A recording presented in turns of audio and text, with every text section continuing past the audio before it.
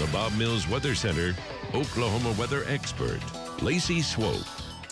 All right, it is now 645. We do have those two breaking news scenes that we're showing you here, but I'll tell you as you're waking up and about to hit the roadways to start your Friday morning, it is frigid this morning. We've had some light snow, some light flurries around. Can't rule out a patch or two of black ice, but we are not seeing that widespread. Most of the roadways are dry. Our crews have been driving all morning long and not one of them has found any icy conditions. So that's good news. Can't say that there's not one or two. So just use caution. Of course, we'll keep you updated on both of these scenes. The winds are howling this morning. Let me show you the look currently of the temperatures. This is the feel like temperature. This is one of the reasons, of course, the main reason why Oklahoma City Public Schools virtual today. And of course, we're scrolling any closures or delays at the bottom of your screen. Minus two in Watonga, minus four in Weatherford. Four degrees is the wind chill in Byers after the 60s and sunshine yesterday. This is a slap in the face. This is the type of air when you step outside, it kind of takes your breath. Layer, layer, layer, cover up your head, your neck, the scarf, the neck gaiter, the gloves, all the winter gear with the biggest that you got in Oklahoma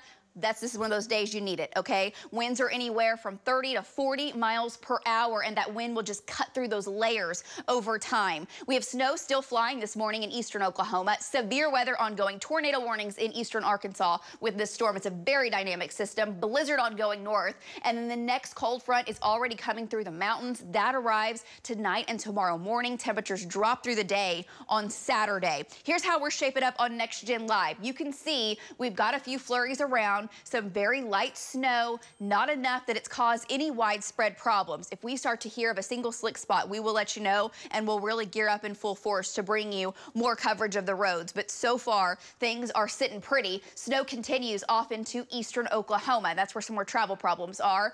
So let's talk the weekend. Today we get above freezing in Oklahoma City for a little bit. I'll show you that. But a cold blast moves in, especially through the day, and temperatures drop down into the teens by the afternoon. But we're dry. Sunday, feels below zero. Snow begins mid-morning, midday, closer to lunchtime. We'll see the beginning stages of that, but you're going to wake up by daybreak and we're dry Sunday the way it looks. Sunday afternoon, snow takes over the state and roads start to get slick, off and on snow Monday, Sunday into Monday, and the roads just get worse. Temperatures in the teens currently, here are the winds, 20, 40 miles per hour right now. Wind chill anywhere from 0 to 2 to 5 to 8 degrees below and hour by hour today. 18 at 9, noon 25. I've got the wind chill over here and that ripping north wind relaxes by this evening, comes around out of the south and will actually hover in the 30s for quite a while this evening before we dip back down below freezing. So highs today only 29 in Ponca, 30 Stillwater, 36 OKC,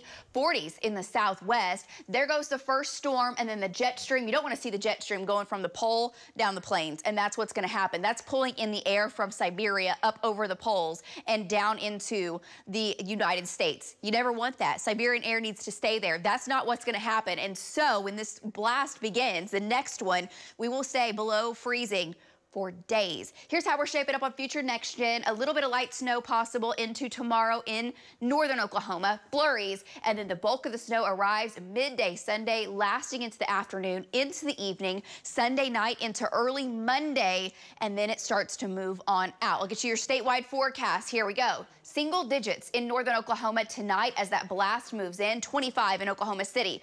You got things to do tomorrow morning. These are your feel-like temperatures, 5 to 10 degrees below zero in the north. Tomorrow afternoon, the air temp at about 3 o'clock. The air temperature, 13 OKC, 6 in Alva, and wind chills are going to be below zero all day Sunday. May get some flurries in northern Oklahoma Saturday. Sunday, wind chills below zero. We're talking 10 to 15 degrees below zero.